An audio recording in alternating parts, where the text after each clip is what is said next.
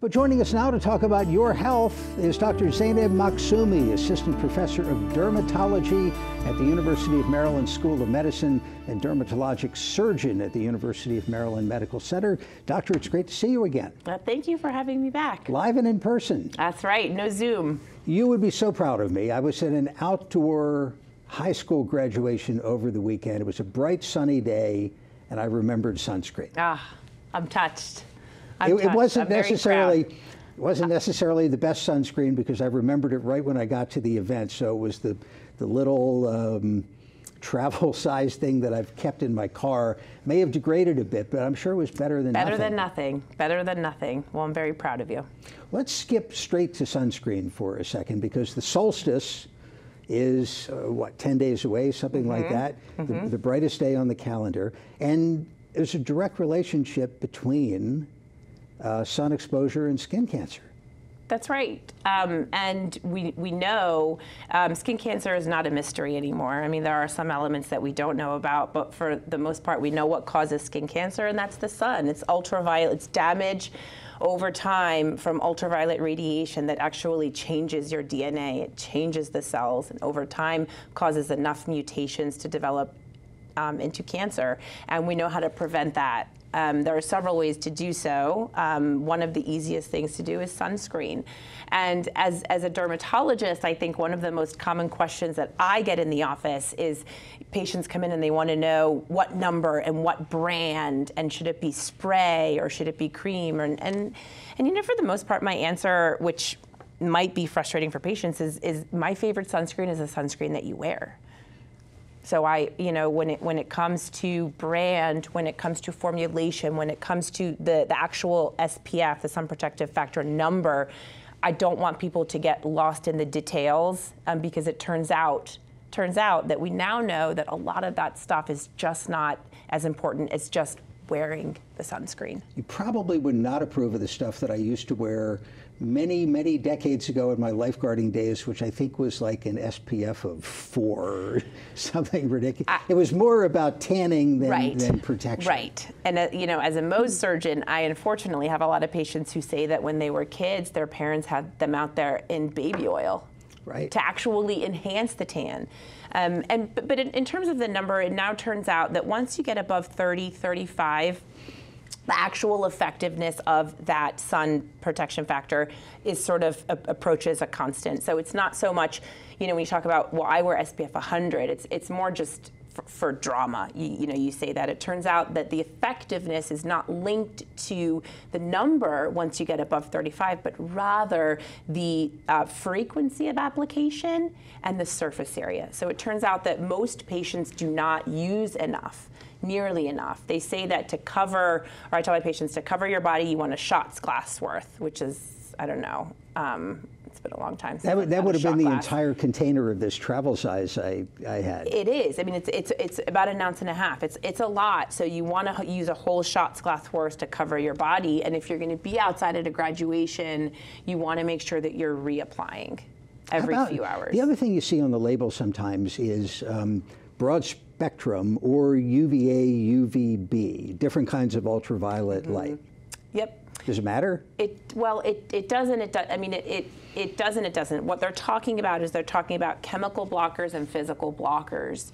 The the sort of the physical blockers are the more inert um, substances. They kind of just sit on your skin and they physically block. They're broad spectrum blockers. That's like your titanium, your zinc oxide. Um, you know, when you think of like the chalky white um, stripe people used to wear on their nose, those are the physical blockers.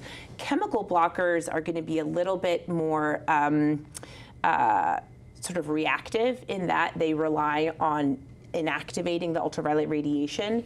Um, and those are the ones that have been a little bit more in, in the news recently about in terms of, of safety and effectiveness. The physical blockers are typically my favorite for patients, and that's what I tend to recommend. How does it go getting that stuff on, uh, say, five year old boys? well, I have two. Um, and just hypothetically, if you have two five year old boys, um, a lot of times it can be a little bit of a struggle. Um, and that's where I like to use some protective clothing, rash guards, um, you know, hats with the flaps in the back. Um, and when all else fails, just kind of holding them down and smothering them with the, with the sun. Not the spray stuff. I don't like the spray as much. Um, as long as you're doing the spray inside, uh, it's fine. Where we, where we have run into trouble with patients is patients who are applying that um, spray outside on the beach at the pool where ambient you have a lot of ambient wind that's going to take the aerosolized because that they put the sunscreen into aerosolized particles and it's really hard to make sure that you're getting direct application where outside the wind takes it you know all over let me uh, remind our viewers if you have a question for the doctor about skin cancer, give us a call. We'll have the number up on the screen. You can also email a question to livequestions at mpt.org. We've been having fun talking about sunscreen, but let's talk about the serious side of, of this. You operate on, on people who have um, varying kinds of skin cancer. Melanoma is the most feared, right? Correct. Correct. How does somebody, if they're looking at their own skin and everybody's got some blemishes of different kinds. What should people look out for? That's a great question. Yeah, and in terms of skin cancer, there are a whole host of types of different skin cancers, but we typically lump them into two big buckets or baskets. Non-melanoma skin cancer, which encompasses a whole host of different skin cancers, and melanoma. So yeah, we separate out melanoma because, as you said, Jeff, it is the most deadly. It is the most feared. It's it's the melanoma that, if not caught early, unfortunately can spread very rapidly to first the lymph nodes and then to distant organs such as the brain, the liver, the lungs. And so, in terms of what what patients can do, um, there are uh, some criteria that one of our governing bodies, the American Academy of Dermatology, has come out with, and that's the ABCDE rule. Those are that's um, a mnemonic that they came up with. So for people to take those letters, apply them to a mole that's changing, and if it fits three maybe even two of those criteria, you should call your dermatologist. Um, a stands for asymmetry. So typically a benign mole, a friendly mole, you should be able to kind of do a line down, down the middle and they should be symmetric on both sides. If you have something that's very uneven, it has one, you know, circular on one edge and jagged on the other, that's a warning sign for melanoma. The B stands for border. So safe moles, healthy moles have a nice, smooth, even border. If you're looking at the spot and it's not smooth, it's kind of jagged, or you can't see where it starts and stops, it doesn't have a defined border, that's another warning sign. The C is for color. So safe moles should be one color. They can be pink, they can be red, they can be brown, but they should be one color and they should stay that one color. Once you start to get two, three, four different colors together, that's another warning sign. The D is for diameter. So anything greater than about a pencil eraser, um, you should have looked at by a board certified dermatologist. And E is for evolving. Anything that's changing. Uh, you know, you say, oh, well, this is getting darker, or this is elevating, or all of a sudden this is bleeding or painful. Definitely warrants a call to, again, a, a board certified dermatologist. Because it makes a huge difference if you catch it early. Huge. The cure rates for, yeah, I mean, we could, you know, I won't bore you with the statistics, but the, the, the cure rates for melanoma when caught early, we're talking 99.5, 99.6%. I mean, so that, you know, in terms of medicine, it doesn't, it, you know, it doesn't get much better than that. You're basically cured. Melanoma, unfortunately, when it has spread um, and metastasized, um, the five-year survival, you know, we talk about survival in months, really, unfortunately. It's something like 20% of Americans um, will have some sort of skin cancer, generally not melanoma, basal cell, or exactly. whatever, those more treatable. Exactly, yeah. One in five. That's exactly what it is. Um, that's impressive. One in five Americans will develop skin cancer by the time they reach the age of 70. The lion's share of those people will develop non melanoma skin cancer, which is mostly basal cell and squamous cell. And it's not you know, I always tell people when they're coming in for Mohs surgery that, you know, when they have a basal cell, I say, look, if you're going to get a skin cancer, this is the one you want because this is the one that just sits on the skin and it can be quite indolent.